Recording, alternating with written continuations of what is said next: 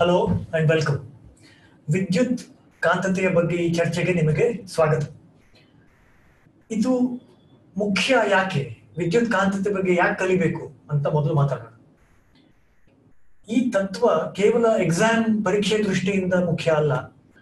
ನಮ್ಮ ಆಧುನಿಕ ಜಗತ್ತೇನಿದೆ ಇಲ್ಲಿರೋ ಅನೇಕ ಯಂತ್ರಗಳು, ಸಾಧನೆಗಳು devices machines they use this concept ಈ ಒಂದು ತತ್ವ ಇಲ್ಲದೆ ಬಹಳಷ್ಟು ಮಟ್ಟಿಗೆ ನಮ್ಮ ಈ ಆಧುನಿಕ ಜಗತ್ತು ಸಾಧ್ಯ ಆಗ್ತಿರ್ಲಿಲ್ಲ. ನಮ್ಮ ಸುತ್ತಲೂ ಇದರ ಉದಾಹರಣೆಗಳು ಇವೆ. ಅದಕ್ಕೆ ಈ ತತ್ವದ ಬಗ್ಗೆ ಅರ್ಥ ಮಾಡ್ಕೊಳ್ಳೋದು ಬಹಳ ಮುಖ್ಯ. ಈಗ ಚರ್ಚೆನ ಒಂದು ಪ್ರಯೋಗದ ಮೂಲಕ ಮುಂದುವರಿಸೋಣ. ಈ ಪ್ರಯೋಗವನ್ನ ನೀವು ಗಮನಿಸಿ. ನನ್ನ ಕೈಯಲ್ಲಿ ಒಂದು ತಾಮ್ರದ ತಂತಿ ಇದೆ. ಈ ತಾಮ್ರದ ತಂತಿ ಈ ಶಾಶ್ವತ ಕಾಂತದ ಹತ್ತಿರ ತಂದಾಗ ಯಾವುದೇ ಒಂದು ಬಲ ಇಲ್ಲ. No attraction or repulsion between the copper wire and the magnet. ಆದರೆ ಇದೇ ತಂತಿಯಲ್ಲಿ ಒಂದು ವಿದ್ಯುತ್ ಪ್ರವಾಹ ಉಂಟು ಮಾಡಿದಾಗ ಏನಾಗುತ್ತೆ ಅಂತ ನೀವು ನೋಡಿ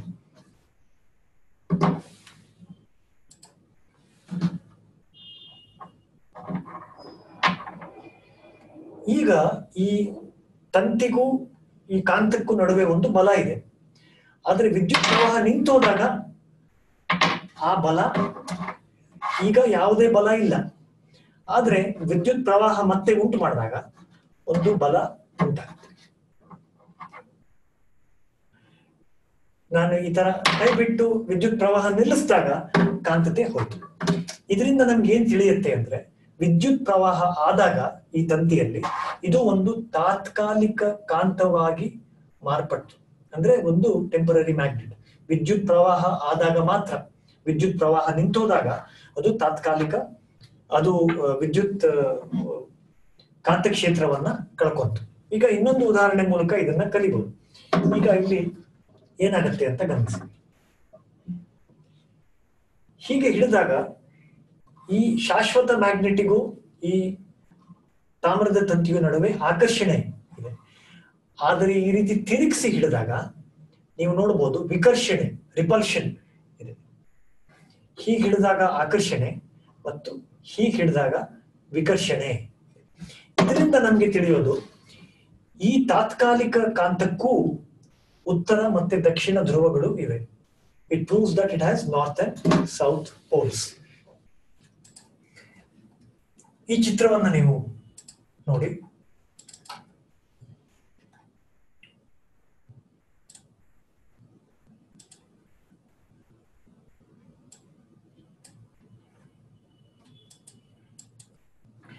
ಇದುವರೆಗೆ ಕಲ್ತಿರೋದೇನು? ಇದುವರೆಗೆ ಕಲ್ತಿರೋದು?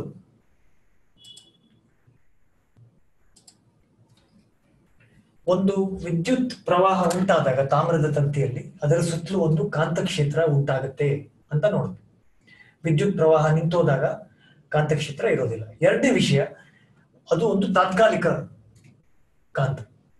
ಮೂರನೇದು, ಆ ವಿದ್ಯುತ್ ಕಾಂತಕ್ಕೂ ಉತ್ತರ ಮತ್ತೆ ದಕ್ಷಿಣ ಧ್ರುವಗಳು ಇವೆ. ಈ ಮೂರು ವಿಷಯಗಳನ್ನ ಸರಳ ಪ್ರಯೋಗಗಳ ಮೂಲಕ ನಾವು ನೋಡಬಹುದು ಈಗ ಮುಂದಿನ ವಿಷಯಕ್ಕೆ ಬರೋಣ. ಈ ವಿದ್ಯುತ್ ಕಾಂತತೆಯ ಪ್ರಯೋಜನ ಏನು? ನಾವು ಇದನ್ನು ಎಲ್ಲಿ ಉಪಯೋಗಿಸ್ತೀವಿ ಅಂತ ವಿಷಯ ಬಂದಾಗ ಒಂದು ವಿಡಿಯೋನ ತೋರಿಸಿ ನಂತರ ಈ ಚರ್ಚೆಯನ್ನ ಮುಂದುವರಿಸ್ತೀವಿ. ಈ ವಿಡಿಯೋನ ನೀವು ನೋಡಿ.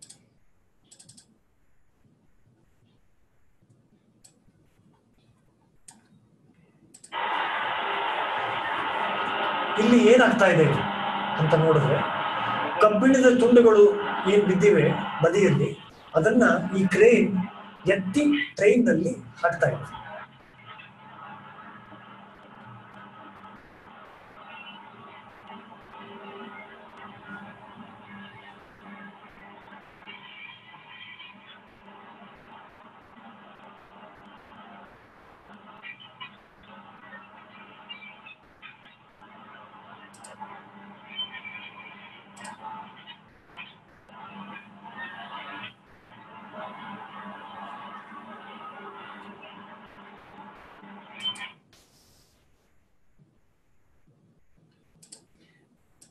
ಇದರಿಂದ ಏನ್ ಕಲ್ತಂಗಾಯ್ತು ಇದು ಶಾಶ್ವತ ಮ್ಯಾಗ್ನೆಟೋ ಕಾಂತ ಮ್ಯಾಗ್ನೆಟೋ ವಿದ್ಯುತ್ ಕಾಂತತೆಯೋ?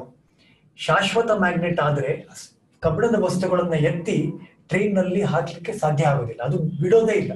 ತಾತ್ಕಾಲಿಕ ಕಾಂತ ಆದ್ರೆ ಆ ಕಬ್ಬಿಣದ ವಸ್ತುಗಳನ್ನ ಸೈಡಿಂದ ಎತ್ತಿ ಟ್ರೈನ್ನಲ್ಲಿ ಬಂದಾಗ ಆ ವಿದ್ಯುತ್ ಕಾಂತತೆಯನ್ನ ಆಫ್ ಮಾಡಿದಾಗ, ಬಂದ್ ಮಾಡಿದಾಗ ಅದು ಕಬ್ಬಿಣದ ವಸ್ತುಗಳನ್ನ ಬಿಟ್ಟು ಬಿಟ್ಟು ಬಿಡುತ್ತೆ. ಸೊ ಕಾಂತವನ್ನ ಆನ್ ಮತ್ತೆ ಆಫ್ ಮಾಡೋದು ಬಹಳ ಮುಖ್ಯ. ಅನೇಕ ಪ್ರಯೋಜನಗಳು. ಇದು ಒಂದು ಇದರ ವಿಶೇಷತೆ. ಶಾಶ್ವತ ಕಾಂತ ಮತ್ತು ವಿದ್ಯುತ್ ಕಾಂತಗಳ ನಡುವೆ ಇರುವ ಹೋಲಿಕೆ ಮತ್ತು ವ್ಯತ್ಯಾಸಗಳನ್ನ ಈಗ ನಾವು ನೋಡೋಣ.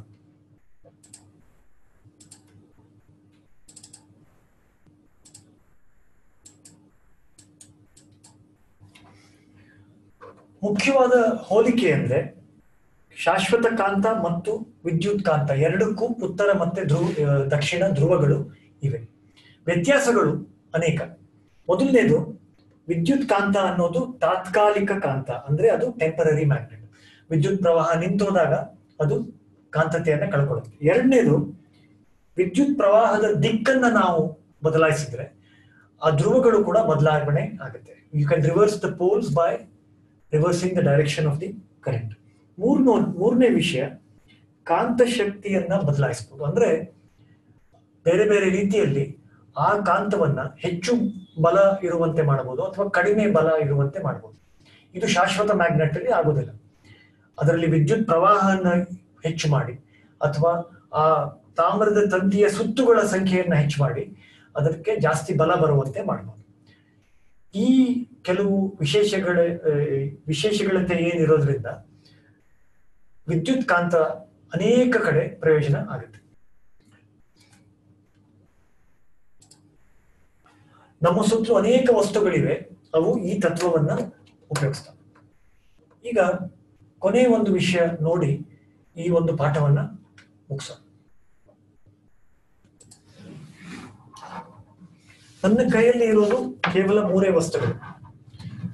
ಒಂದು ಬ್ಯಾಟ್ರಿ ಇದೆ, ಒಂದು ತಾಮ್ರದ ತಂತಿ ಇದೆ ಮತ್ತು ಒಂದು ಶಾಶ್ವತ ಮ್ಯಾಗ್ನೆಟ್ ಇದೆ. ಈ ಶಾಶ್ವತ ಮ್ಯಾಗ್ನೆಟ್ ಅನ್ನ ಕೆಳಗೆ ಇಟ್ಟು, ಈ ತಂತಿಯ ಒಳಗಡೆ ವಿದ್ಯುತ್ ಪ್ರವಾಹ ಆಗುವಂತೆ ಮಾಡಿದ್ರೆ ಇದು ಒಂದು ಕಾಂತವಾಗಿ ಪರಿವರ್ತನೆಗೊಂಡು ಏನಾಗುತ್ತೆ ಅಂತ ನೀವು ನೋಡಿ.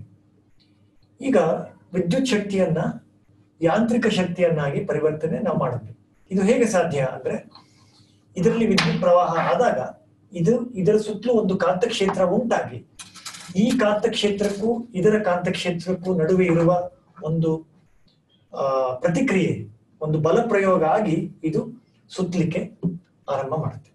So what we have built here is a simple motor which converts electrical energy into mechanical energy ಎರಡು ಮ್ಯಾಗ್ನೆಟ್ಗಳಿವೆ ಒಂದು ತಾತ್ಕಾಲಿಕ ವಿದ್ಯುತ್ ಕಾಂತ, ಒಂದು ಶಾಶ್ವತ ಕಾಂತ. ಈ ಎರಡು ಕಾಂತಗಳನ್ನು ಉಪಯೋಗಿಸಿ ನಾವು ಮೋಟರ್ನ ತಯಾರು ಮಾಡ್ತೀವಿ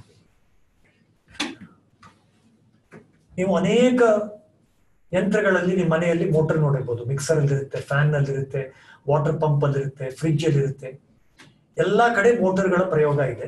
ಅದು ಕೂಡ ವಿದ್ಯುತ್ ಕಾಂತತೆಯ ಒಂದು ತತ್ವವನ್ನ ಉಪಯೋಗಿಸುತ್ತೆ. ನಾನು ಮೊದಲು ನಿಮ್ಗೆ ಹೇಳ್ದಂಗೆ ಈ ತತ್ವದ ಉಪಯೋಗಗಳು ಸಾವಿರಾರು. ನಮ್ಮ ಈ ಜಗತ್ತು ಸಾಧ್ಯನೇ ಆಗ್ತಿರ್ಲಿಲ್ಲ. ಅದಿಲ್ಲದೆ ಸೊ ಅದ್ರ ಬಗ್ಗೆ ಕೆಲವು ವಿಷಯಗಳನ್ನ ಇವತ್ತು ನಿಮಗೆ ತಿಳಿಸಿದ್ದೀನಿ ನಿಮಗೆ ಇದು ಚೆನ್ನಾಗಿ ಅರ್ಥ ಆಗಿದೆ ಅಂತ ನಂಬಿದ್ದೀನಿ ಥ್ಯಾಂಕ್ಸ್ ಫಾರ್ ವಾಚಿಂಗ್ Bye.